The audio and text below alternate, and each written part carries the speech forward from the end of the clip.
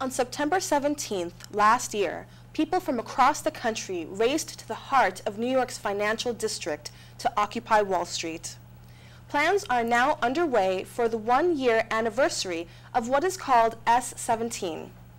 Three days of events are being planned starting on September 15th.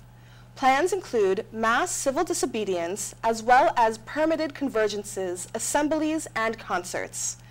A schedule of events is available on the site s17nyc.org.